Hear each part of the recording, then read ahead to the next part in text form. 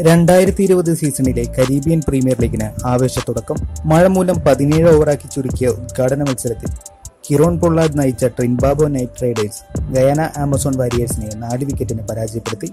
മത്സരത്തിൽ ആദ്യം ബാറ്റ് ചെയ്ത ഗയാന ഹെറ്റ്മേയറുടെ അർദ്ധ സെഞ്ചുറിയുടെ പിൻബലത്തിൽ നിശ്ചിത ഓവറിൽ നൂറ്റി നാൽപ്പത്തിനാലിന് അഞ്ച് എന്ന മികച്ച സ്കോർ സ്വന്തമാക്കിയപ്പോൾ രണ്ടു പന്തുകൾ മാത്രം ബാക്കി നിൽക്കെയാണ് നൈറ്റ് റൈഡേഴ്സ് വിജയം സ്വന്തമാക്കിയത്.